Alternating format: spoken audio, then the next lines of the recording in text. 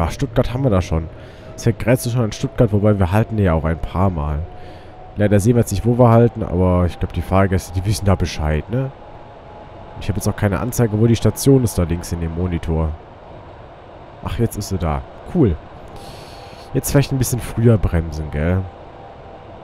Ich vermute mal, so 50 am Bahnsteigsende sind in Ordnung. Also so einen neuen, neuen Train-Simulator, ähm, da ist immer so 60 am Bahnsteigsanfang, kommt immer auf die Länge an.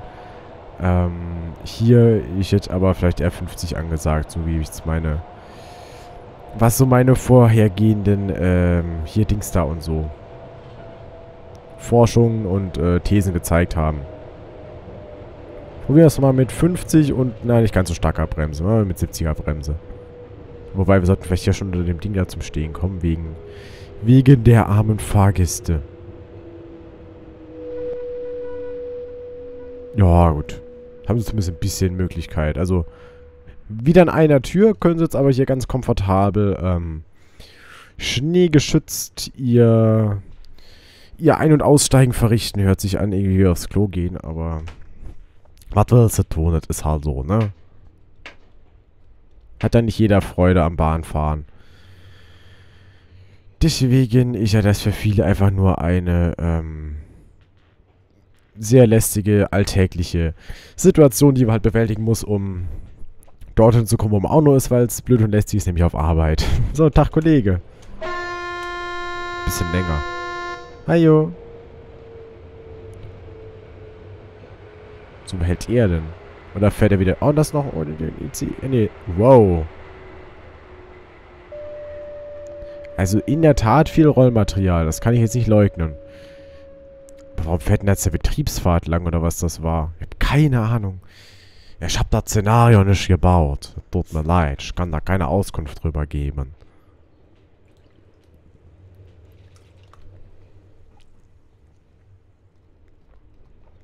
Also ist das halt, ne? Gerade schon wieder die Bremse in die falsche Richtung gelöst. Ähm, es glaube ich, die Tasten sind invertiert zu den neueren, äh, zu Railworks 3, was glaube ich das neue ist. Ähm, sind die Tasten invertiert, so A und D zumindest, habe ich so das Gefühl, es fühlt sich unnatürlich an und ich bin einfach ein bisschen, bisschen aus der Übung, aber es gibt auch Stadtbahnfahrer, die sich verbremsen bei uns, so ist ja nicht. Und die machen das beruflich und jeden Tag. Tut immer ein paar Tage die Woche, aber es ist immer witzig anzusehen, dass man nicht selber hier alleine der Depp ist, der sich manchmal verbremst, sondern dass es auch durchaus in der Realität Fahrer gibt, die da ein bisschen, ähm, ne, ein bisschen übers Ziel hinausschießen manchmal. Ich finde ich weiß nicht, also das ist nicht unbedingt Schadenfreude, aber es ist einfach irgendwie interessant zu sehen, dass du da nicht alleine ähm, dich mehr mal verbremst, ne? Muss schon ein bisschen anfangen, langsamer zu werden. Oh, oh, 130, das schafft man nicht. Oh, das schafft man nicht. Das abzubremsen bis da vorne. Ne. Die 10 km/h, boah. Ja, bis sie jetzt schon anfangen, also fast hier mit dem Bremsklotz da aus dem Fenster raus irgendwie ist. Geht ja nicht anders. Was da vorne ist ja gelb, gell? Aber sind das nicht wir. Ich hoffe mal nicht, dass wir das sind, aber... Naja, es wenn das so wäre, wäre es halt so. Würden wir dort eben ein Weilchen verbringen hier in äh, Stuttgart. Weiter kann ich nicht lesen. Weiter reicht leider das Tick. Aber warum das dann generell gar nicht angezeigt wird, ist mir so ein bisschen ein Rätsel. Das sind ja aber das Label einfach drüber labelt. Aber hey. So ich das, ne? Da weiß ich auch gar nicht, wann ich da bin. Aber das wird mir das Spiel hoffentlich mitteilen. So, jetzt sind wir ja hier am Bahnsteig drin. Das halten wir hier mal unter dem unter dem Dächle, ne? Jetzt sind wir ja hier im Schorbeländle, da muss man im Dächle sagen, genau. So ist's. So, Ausstieg befindet sich in Fahrtrichtung rechts. Sehen wir noch nicht, wo wir sind, gell? Das ist texturenmäßig halt noch ein bisschen, äh, doch schon ein bisschen länger her. Und Texttexturen war da, glaube ich, auch noch nicht so angesagt. Was man aber trotzdem ganz gut lesen kann, sind ja die äh, Gleisschilder. Also die kann man, finde ich, ganz gut erkennen. Aber so der Rest ist halt, äh, ist halt wie es ist. Wie uns immer eine weise Denkerin schon vor langer, langer Zeit erzählt hat. Und wir glauben es erst jetzt. Ach schön, jetzt haben wir noch ein bisschen hier. Ich weiß gar nicht, wann überhaupt. Also ich habe auch gar nicht auf die Uhr geschaut und Fahrzeit, keine Ahnung, wann wir da sind. Auf jeden Fall ein paar Stuttgart-Stationchen. Ich habe jetzt noch eine andere Tastatur hier, also ich würde jetzt da ungern irgendwas kaputt machen, deswegen Deswegen versuche ich mal nicht da irgendwie was an den F-Tasten rumzumachen. Sonst geht, sonst geht kaputt. Tralidali, du. Kann ja da mal aussteigen. Nicht? Schade. Es tut mir aber leid. So, jetzt ist Zeit aber gleich drin, ne? Dann haben wir auch ungefähr wieder die Abfahrts... Und noch ein ICE. Was ist denn hier los? Genau, so ist wieder zurück. Da können wir schon mal hier die Bremse weg. Zurückbleiben, bitte. Piep. Piep. Und ab dafür. Verfolgen wir den ICE. Den kriegen wir bestimmt noch. Nee. Aber das nächste sehen wir wieder Stuttgart-Daimler. heißt, die ganzen arbeitswütigen Menschen zur Spätschicht abends. Bestimmt voll Lust, ist noch alles im Haus zu gehen und zu arbeiten. Oh, da vorne ist ein, eine Weiche gestellt. Und darf ich dann trotzdem 130 fahren? Ich mach's mal nicht. Ich fahre mal lieber 80. Denn alles, was über 80 ist und weich ist, glaube ich, so verschleißtechnisch, glaube ich, nicht ganz so optimal. Also es gibt ja immer diese Weichen, die für etwas höhere Geschwindigkeiten gemacht sind, aber es muss ja nicht jede Weiche äh, das aushalten. Oder fahren wir das gar nicht höher? Oder was wird das jetzt hier? Die dürfte ich jetzt mit 130 befahren. Das ist eine Monsterweiche. Pang, pang, bung, bung. Ja, sie hat, auch gerade der Zug schon gemeint. Oh, das tut aber weh. Oh, das, oh. Das Haltestelle. Ich nichts gesehen, Haltestelle. Ich voll verplant, Haltestelle. Ist, ist Bahnhof. Ne, ist Haltepunkt. Ist nichts Bahnhof, ist Haltepunkt. Aber passt doch alles. Haben wir doch, haben wir doch geschafft. Jetzt der Ausstieg befindet sich in Fahrtrichtung links. Auch wieder Aufenthalt hier. Beim Daimler. Ja, vorne seine Werke wahrscheinlich, oder? Ja, das sieht, das könnte sein. Dass das die Daimler-Werke sind. Da. Die andere Richtung ist ja eher so, äh, Bahn und so. So Bahnanlagen. Und Wald. Bezweifle, dass er mal produzieren lässt, aber gut. Ach ja, der gute alte Benzi. Ich glaube, es ist auch nicht mehr weit, wenn wir beim Daimler sind, dann ist bald um die Ecke der Hauptbahnhof. Ach ja, ich hatte schön hier. Also ich weiß nicht, S-Bahn-Fahrplan technisch ist das hier ein bisschen sehr locker. Vor allem, wenn als Ziel der Aufgabe gesetzt ist, ja, keine Verspätung bekommen. Also die Aufenthalte, da kriegst du ja jede Verspätung wieder raus. Dreimal. Mit Zinsen. Und das in der heutigen Zeit. Also das will was heißen. Ah, aber ich sehe auch hier die Streckenkilometer, die äh, konvergieren gegen Null. Das heißt, so weit kann es gar nicht mehr sein. So, jetzt haben wir aber gleich hier, genau, jetzt sind wir gleich weg. Aber ich glaube, wir stehen auf einer Steigung. Das heißt, das mit der Bremse lösen versuche ich zeitlich so gegen den Zeitpunkt zu schieben, wo wir dann auch los müssen. Ne? Nicht, dass wir da rollen, wobei ich weiß gar nicht, ob das, das hier realisiert ist oder nicht. Haben wir eine schöne, schöne Sichteinstellung? Ah, so ist doch schön.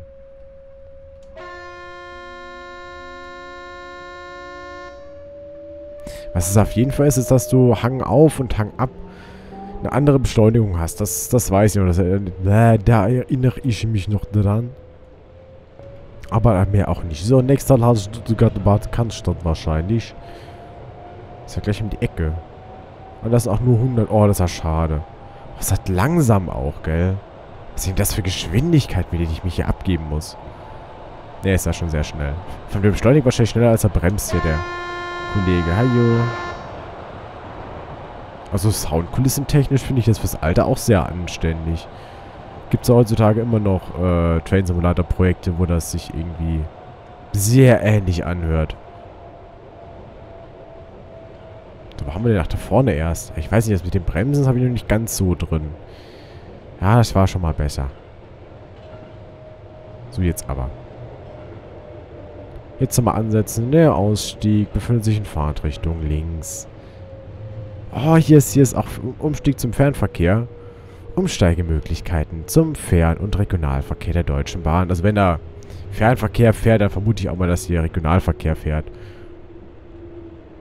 Meine S-Bahn haben sie ja schon mal, aber so zwar aus auch dem... Ja, wir können auf beiden Seiten aussteigen. Cool. Ausstieg in beiden Richtungen. Ausstieg in Fahrtrichtung und gegen Fahrtrichtung, beides mal links. Ist ein bisschen ICE, gell? Yep. Warte mal, da sehen wir ihn. ICE und ein Intercity davor.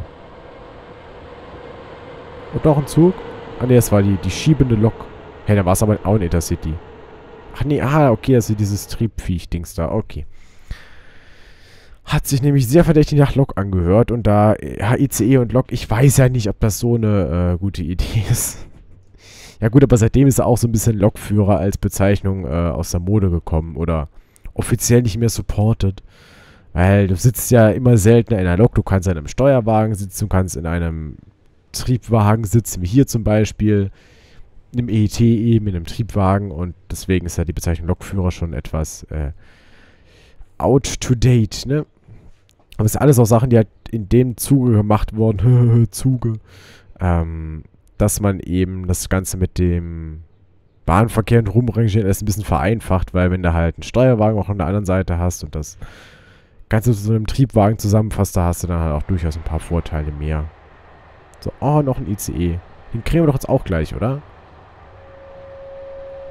Ganz bestimmt. Ah, ne, sogar 60. Ja, gut, okay. Wahrscheinlich schon vorne wegen der, Gle äh, wegen der Gleise, genau. Ne, wegen der Weiche. So, Annäherung. Ach, wir haben hier noch gar nicht... Ach, das ist eine Ankündigung. Ich hätte vielleicht besser hinschauen sollen. Heißt dann... Drehen wir noch mal ein bisschen auf. Wir haben es ja, ne? Dann kriegen wir den ICE sogar vielleicht. Huhu. So, sehr geehrte Fahrgäste, in wenigen Minuten erreichen wir Stuttgart Hauptbahnhof. Bitte beachten Sie, diese Fahrt äh, endet dort. Wir bitten alle Fahrgäste auszusteigen. So, hier wären es 90. Das ist natürlich schön für alle. Ach, hier ist gar kein Schnee. Es schneit nicht im Tunnel. Geil. haben sie gut gemacht. Ach, 07 haben wir noch. Ja, das ist ja noch ein bisschen. Und ein dezent längeres Gleis, wie es aussieht am Hauptbahnhof. Aber noch keine 60. Vorne erst. Ja, wir haben jetzt ein bisschen mehr Begleitung, ne? Ist doch auch schön. So, jetzt aber weiß ich gar nicht, wie tief wir echt drunter müssen, dass der uns nicht zwangsbremst. So. Hätte es auf keinen Fall mehr. 65 das glaube ich nicht. Ah, das sind sogar 40. Schön, aber jetzt haben wir hier echt ein bisschen... Boah, ist ja schön da. Sehen wir jetzt eigentlich auch irgendwie so... Ah, da hätte man jetzt...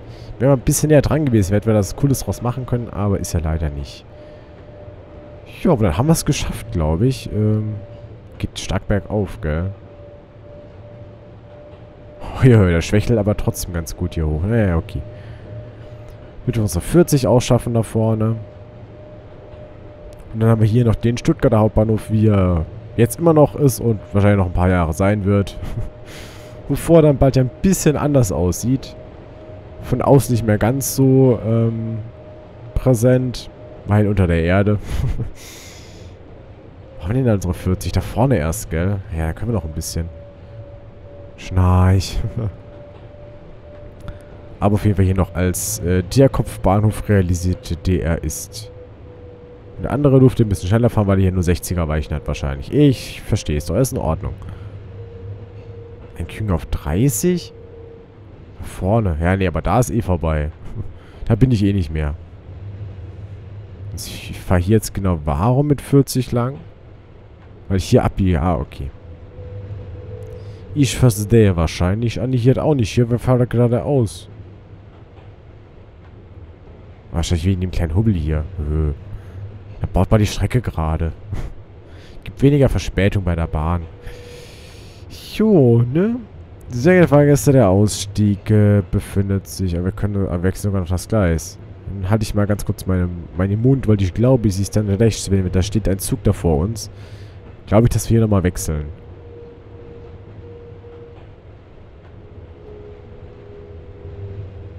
Genau. Der Ausstieg befindet sich in Fahrtrichtung rechts. Hab erstmal, wir fahren da direkt rein, aber ist ja anscheinend nicht so. So, noch gucken, dass wir da genau da halten, da vorne. Nicht über Rot fahren. So, Tag, alle Kollegen. So, erstmal schön laut die Pfeife loslassen, das Signalhorn im Bahnhof. Freut bestimmt alle. Also so dachtechnisch ist es ja nicht so, gell? Meine Erinnerung hat der ein Dach. Aber ist okay. Hat man da vorne den Mini-Dachbereich.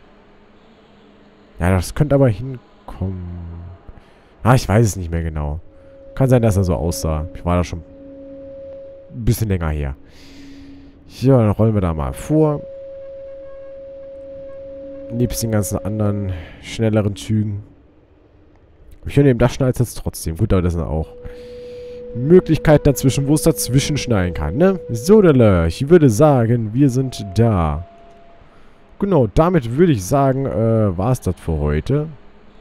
Ähm, ich bedanke mich bei euch fürs Zuschauen, fürs dabei sein. Wir uns dann einfach, ja, entweder das nächste Mal oder in einer anderen Folge wieder. Macht's gut. Tschüssi.